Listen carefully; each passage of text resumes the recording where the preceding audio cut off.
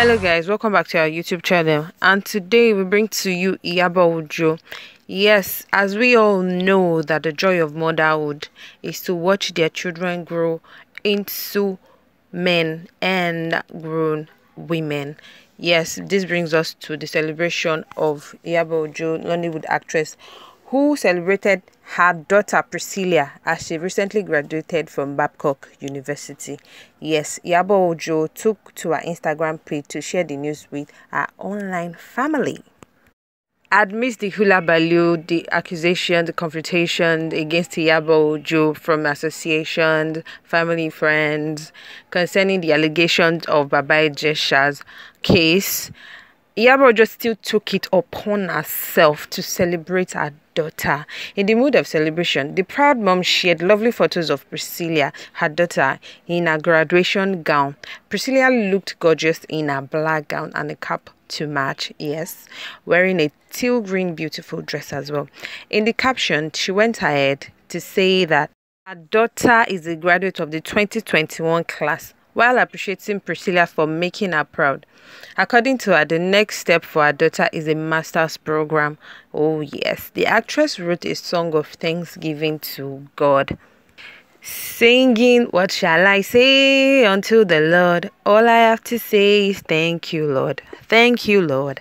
Thank you, Lord. All I have to say is thank you, Lord. Yes, and she continued in her caption by saying, Finally, my jewel of inestimable value at its precious is a graduate of Babcock University 2021. I love you, Scatter. Thanks for always making me proud. God, this can only be you. Oh, yeah, masters loading. Yes, this is the joy of every mother to look out for their children raise them in the manner that which that pleases them and send them to school not just to school i mean finish up in a grand style like she did she didn't let any of the hula baloo the noise from social media from fans and all to distract her from ensuring she celebrates her one and only daughter that she has looked out for. I mean, it's not easy to be a single mom.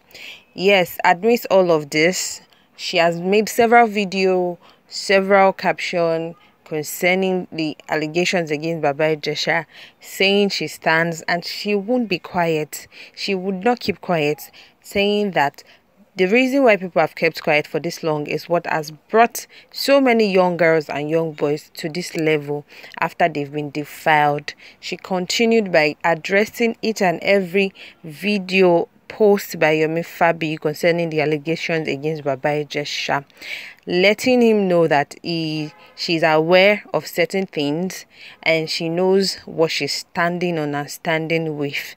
And whatever it is that happened she has taken it upon herself to forgive Yomi Fabiyi, irrespective of what he said against her and some things that weren't true that he said as well.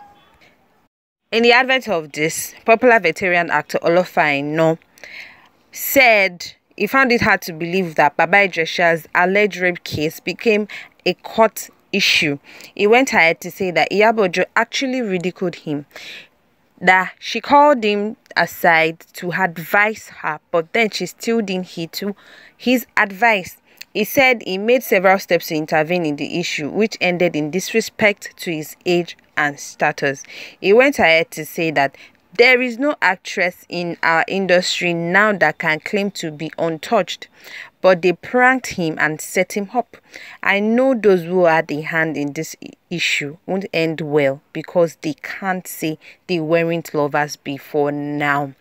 These were the words interpreted in English by popular veteran Olofa Ina concerning Iyabo Ojo and these rape allegations. He continued by saying that he called Iyabo Ojo privately and pleaded with her because she is not as old as he is. According to him, people often get wealth and have no regards for human and elders. She continued by saying that actress Mrs. Ojo said in quote, Come off it, Baba. It's not how far but how well. That Iyabo Ojo replied that I can't let such thing happen to my own daughter. I told her that I am talking to her as a father. Then she called and ended the call abruptly.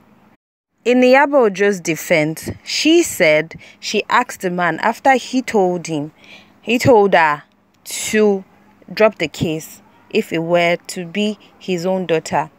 And he kept mute on the phone. And the phone ended abruptly. Not that ended the call on him.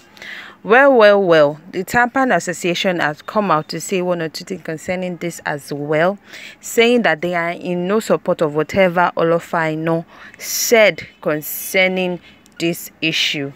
And whatever transpired between two adults, it's not the same way the association behaves. So this back and forth has been going on between Tampan, Yabojo, Yomi Fabiyi, and Baba Ijesha. Well, guys, there you have it for now. Stay tuned for more concerning this issue. Do not forget to like, subscribe, and drop your comments below. Thank you. Bye.